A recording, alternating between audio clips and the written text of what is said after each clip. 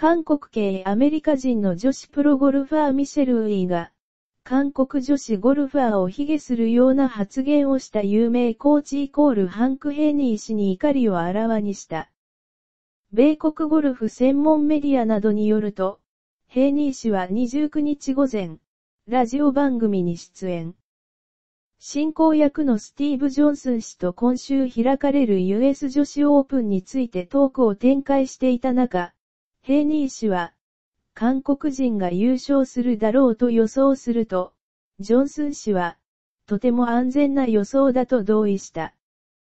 続けてヘイニー氏は、米国女子ゴルフツアーでプレーする韓国選手6人の名前は出てこない。あ、ちょっと待って。出てくる。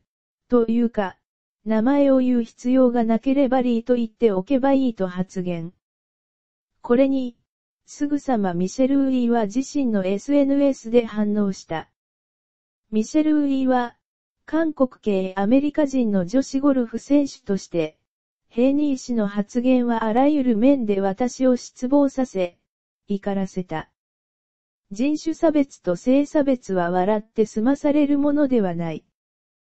あなたは恥ずかしいと指摘。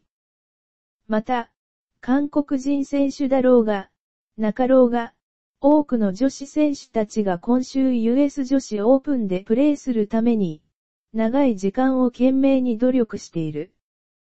フィールドには本当に驚くべき選手がたくさんいる。彼女たちを祝福しなければならない。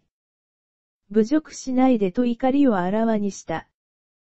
この投稿でヘイニー氏に対する批判の声が高まると、自身の Twitter を通して、今朝、ゴルフと選手たちに対して自覚のない発言をしてしまった。